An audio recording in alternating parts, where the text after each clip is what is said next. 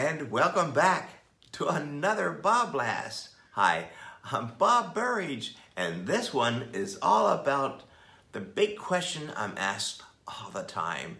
Hey, what color should I make the background? I look at the painting, and they say to me, right, I painted the object, now what color should I make the background? Well, I have to really tell you, it's not about the background and the foreground. It's about the entire painting. You paint the entire painting all at the same time. The real question is cool colors and warm colors. And you can see from some of the paintings behind me how warm colors generally come forward cool colors, the blues, the greens, they recede and they go away. So that's background, foreground, but not all the time. I just want you to know that's generally is how we look at it. Warm colors, cool colors.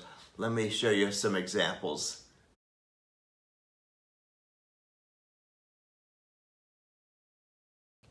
So in this in your face painting, notice how the blues, the cool colors recede, the hot colors come forward oranges and reds. Okay, they come forward. Pretty obvious in this one. Let me show you an actual demonstration. Here I have my colors. I have my warm colors, my yellows and reds. Over here I have my blues and greens and a little bit of white. All right? So, knowing that I'm going to be doing a painting, I have some examples over here. Look at, look at this whole red. All reds. Powerful but the dark colors come forward. Sorry to jump around like this, but dark colors come forward, soft colors recede. Soft colors here recede, dark colors come forward. That's a general kind of observation. Here we go. I'm going to make sure that this painting here is going to be all warm Look at that. Add some yellows in here, some hot reds. See, I paint all over at the same time.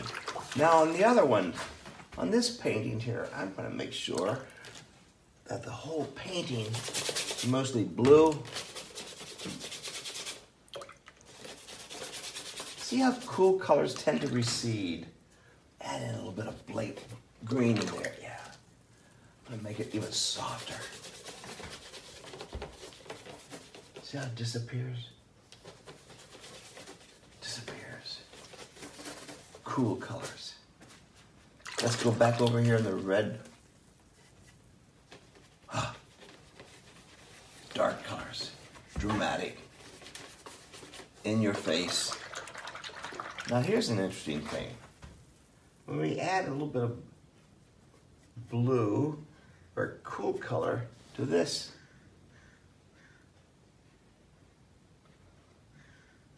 Does it come forward or does it recede?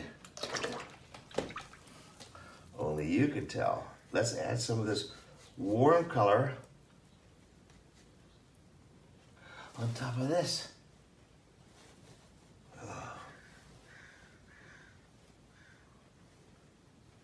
So it looks like the red, the warm color is floating, comes forward. Look how this blue is it coming forward or is it floating? Or are you going through into space? And that's part of the whole next really step in painting, values. So if I add a lot of white to this blue, it's gonna make it awfully soft and not come forward. Now it almost becomes a hole, right? Look at that. See? So it's not about color coming forward or receding or background color. It's all about color next to color all at the same time. You can't make a decision of what color that should be unless you have color next to it. So you should always have paint all over the whole place, all at the same time. I think there's a word for it. It's a verb. It's an action word. It's called painting. So that's what painting's all about. Not coloring in a coloring book. Hey, I hope you enjoyed this one about background colors. It's about painting all over the whole place at the same time. Boy, did I enjoy doing this one. I hope to see you on the next BobBlast. Thanks for watching and keep your brushes wet.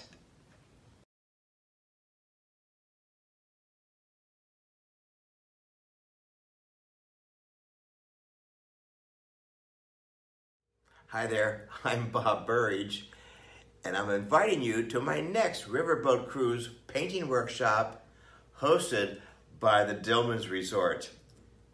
Guess where I'm going? Stay tuned.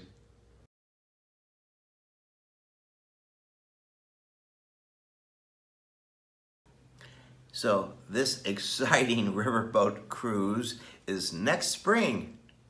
Okay, so stay tuned here. And it's from Amsterdam to Belgium, going into the Netherlands. Oh my gosh, all those castles and those historic cities and history. Uh, we're going to be relaxing and painting on location, not heavy duty painting, but light sketching, colorful pencils and things like that. Then back on our boat, small boat. No, it's a small boat, not one of these giant cruise ships, which I love so much. We get personal service. And we're going to be with all the masterful museums. We're talking Van Gogh, Rembrandt, Vermeer, and all those other wonderful early painters that we love so much.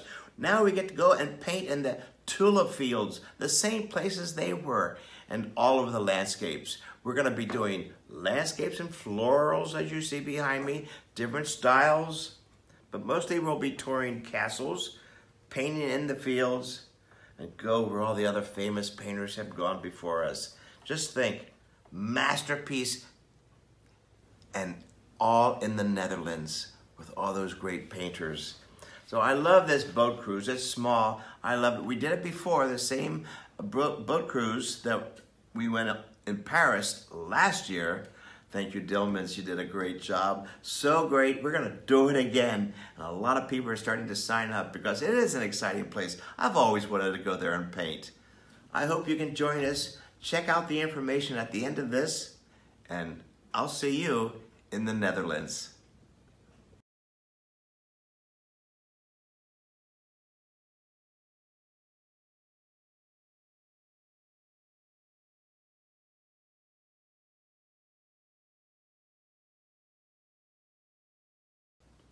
Hi there, and as most of you know, I love drawing the undraped model, especially in my workshops one of my more popular workshops. I just love because I get to draw too. And as you can see, we're doing drawings from charcoal. We do use paint, black and white paint, all the way up into colorful paintings with acrylic paint.